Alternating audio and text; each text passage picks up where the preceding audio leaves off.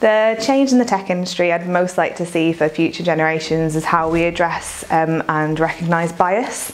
Um, I think as women we can address bias um, on our own and sort of overcome it a little bit, but it has to be as a collective that we address it and it won't be until that that we will truly achieve equality and diversity. I think the tech industry has to change to become more diverse.